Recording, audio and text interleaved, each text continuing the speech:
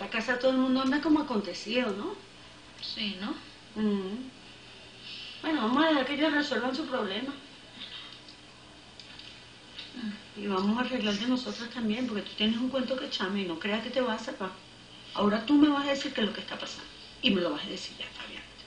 No quiero excusa. Bueno, sí, Tomasita, yo te tengo un cuento. ¿eh? Y no te imaginas el tamaño. Tengo esos oídos bien grandotes como para escuchar el tamaño de ese cuento, ¿sí? Bueno.